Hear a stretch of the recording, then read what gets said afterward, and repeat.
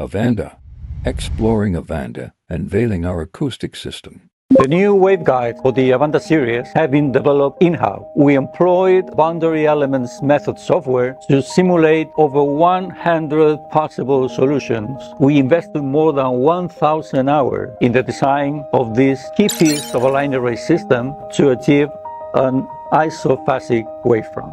Also, the horn has been developed using BEM software. We offer a smooth uh, 90 degrees horizontal coverage, which is perfectly suited for Avanda's intended application. Something that will certainly draw the attention of our customers is uh, the mid-frequency speakers aiming outwards. The angle has been optimized specifically for the speakers we use here to provide an optimum horizontal coverage from the mid-frequency section.